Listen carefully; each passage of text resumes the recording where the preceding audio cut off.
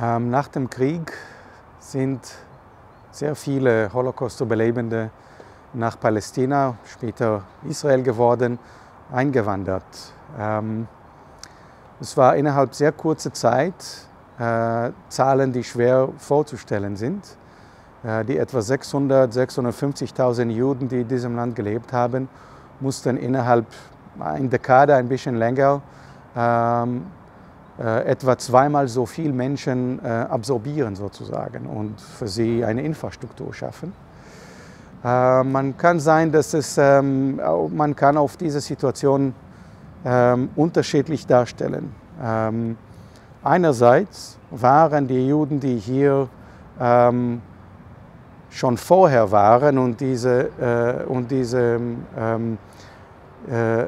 Überlebende aufgenommen haben, hatten äh, viele eine sehr kritische äh, Einstellung, die Überlebenden gegenüber. Ähm, es war sehr üblich, auf sie mit sehr kritischen Augen zu schauen und sagen, ähm, warum habt ihr gewartet? Warum seid ihr nicht schon lange vorher gekommen? Äh, der zionistische Ideologie war äh, eigentlich gegründet in der Idee, dass Juden keine Zukunft ähm, in Europa haben und überhaupt keine haben, wenn sie keinen eigenen Nationalstaat gründen. Ähm, und äh, Zionismus war schon verbreitet in Europa. Die, die gewählt haben zu sagen, haben dafür einen Preis bezahlt. Das Leben in Palästina war nicht leicht.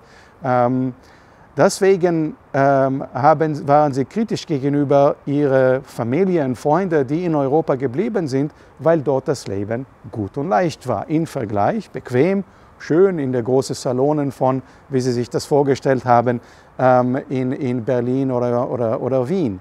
Ähm, als sie dann nach dem Krieg kamen, war dieser äh, Vorwurf, äh, ihr seid schuld. Äh, warum habt ihr gewartet? Ähm, eigentlich könnt ihr euch jetzt nicht beschweren, äh, weil es eure eigene Schuld ist.